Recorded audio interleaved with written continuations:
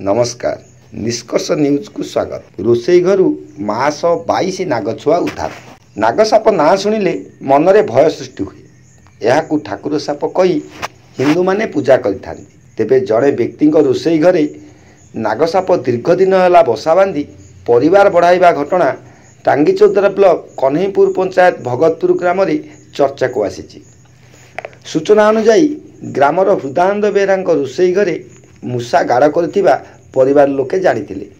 ମାତ୍ର ସାପ ବସା କରିବା ଭାବିନଥିଲେ ରବିବାର ଏକ ନାଗସାପ ଘର ଭିତରକୁ ପଶିବା ଦେଖି ପରିବାର ସଦସ୍ୟ ଛାନିଆ ହୋଇଯାଇଥିଲେ। ଜିତୁନି ନାମକ ସ୍ଥାନୀୟ ଅଞ୍ଚଳର ଜଣେ ସାପ ଧରାଳୀଙ୍କୁ ଘରକୁ ଡାକି ଉକ୍ତ ନାଗକୁ ଉଦ୍ଧାର କରିଥିଲେ।